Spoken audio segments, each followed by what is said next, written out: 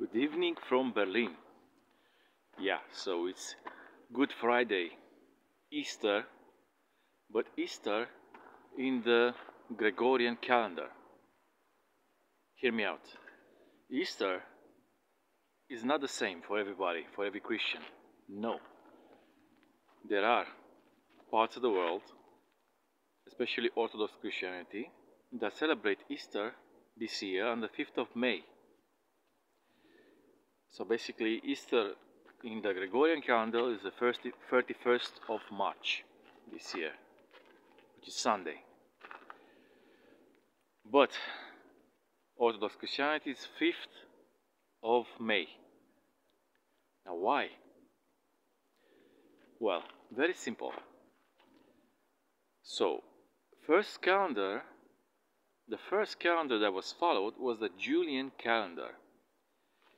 So in 46 BC, Julius Caesar, yeah, that Julius Caesar, established this calendar, the Julian calendar. And it consists in 365 days, 0.25. Okay? 0.25. This is the correct number. But in 1528, Pope Gregory devised a new calendar called Gregorian calendar. Of course, taking his name. He wanted to be famous in history for something, isn't it? So whatever. And the calendar, the Gregorian calendar, is 365.2425. So it's a very small difference. Of course, there's a leap year every four years and stuff, and the small difference adds up in time. And the last time the two calendars had Easter in the same day is 2017.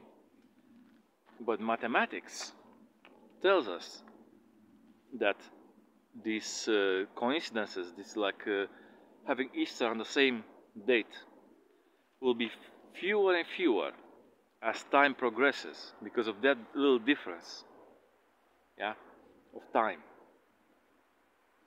And calculations you can calculate yourself, but calculations say that after 2700, after the year 2700, Easter will never be the same in the two denominations.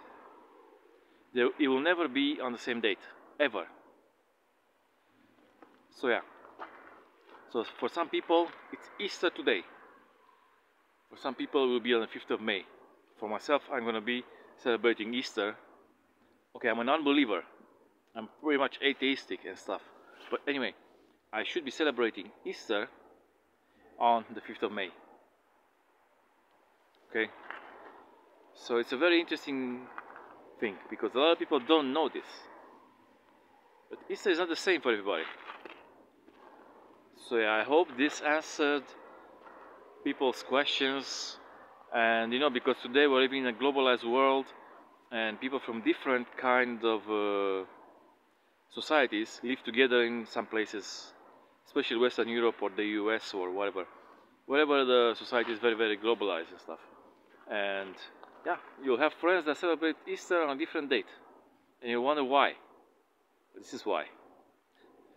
Hope this information is useful for you, and yeah, subscribe to the channel if you haven't done already, and also click the notification bell so you're gonna be notified whenever I'm posting something new, isn't it? Because it's pretty interesting I would say. And yeah so far so good. So what? Bye bye